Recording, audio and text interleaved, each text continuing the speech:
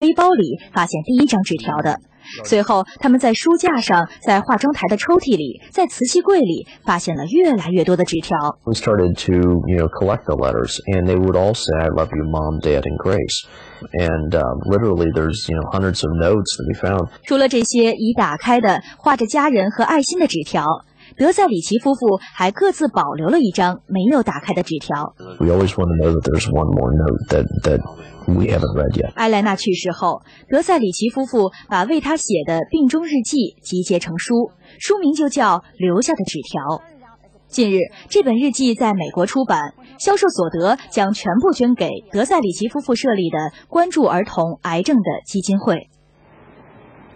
虽然女儿已经不在人世，但是孩子的父母把对女儿的爱延续到了其他患绝症的孩子们的身上，真是让人肃然起敬。而在加拿大，同样有一位很坚强的父亲，他的儿子刚刚在肆虐全球的甲流疫情中失去了生命。二十八号，这位饱尝丧子之痛的父亲向人们讲述了自己的孩子从患病到逝去的经过，用痛苦的亲身经历给甲流患儿的家长们提出了善意的警告。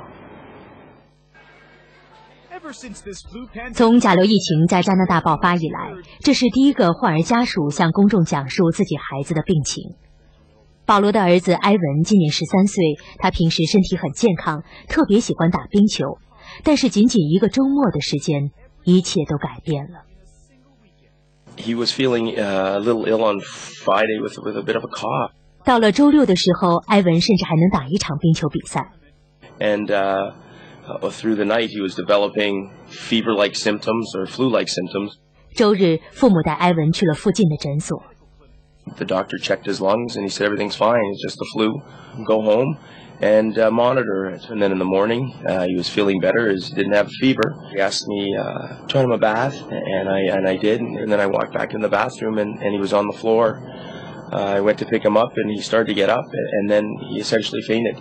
事实上，埃文已经停止了呼吸。I uh, started to perform CPR, and, and, and we called 911, and and uh, it's too late. 加拿大卫生部门二十八号证实，埃文死于甲型 H1N1 流感病毒，并称这一事例完全说明给孩子接种甲流疫苗是非常必要的，而且要尽快进行。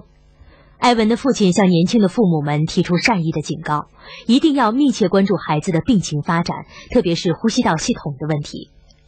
加拿大专门负责重症病人监护的专家告诫父母们说，一旦孩子出现呼吸急促或呼吸困难的话，要立即送往急诊室抢救。You should never get short of breath with influenza, ever. If you're getting short of breath with influenza, that's a danger sign, and that's a situation where you ought to go to the emergency room.